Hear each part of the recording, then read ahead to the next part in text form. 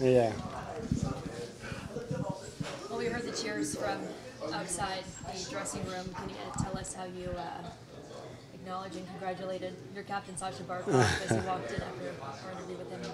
Yeah, I mean, uh, what a night for him, and uh, yeah, uh, we gave him the silent treatment at, at the start, and then uh, I think he would actually prefer the silent treatment over us cheering. So then we all uh, big roar and uh, congratulated him. Uh, it's a crazy accomplishment, and I mean, I can't imagine. He's the best player the franchise has ever had, and uh, it's awesome. How has he personally impacted you? Yeah, I mean, uh, coming to the rink, he makes my day better every time. He's so positive, and I mean, he's just a nice human. He uh, has nothing bad to say about anyone, and he's always so positive and happy guy. And I love uh, playing with him. He's a great captain, great teammate. So, hear the Senators Penguins score? uh, what's that? You hear the Senators Penguins score? No, So Senators won, which means you guys are in a playoff spot.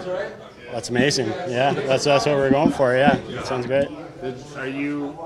Why do you think this team has clawed its way back? Right, the halfway point of the season looked kind of bad. Yeah. Right, and you guys have clawed your way all the way back.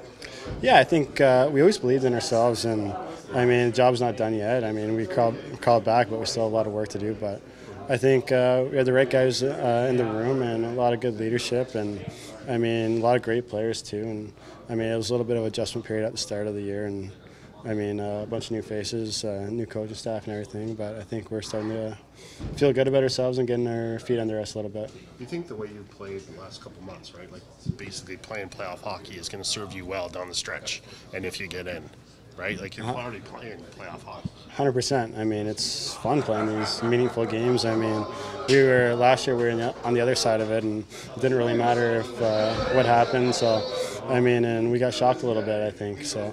I mean, uh, yeah, playing meaningful hockey, coming down, to, coming down to the wire. I mean, it's always uh, really good. Your line was extremely effective, you of course, and then also Matthew Tkachuk, Sam Bennett. Just how were you able to establish that chemistry in, an additional way against Detroit?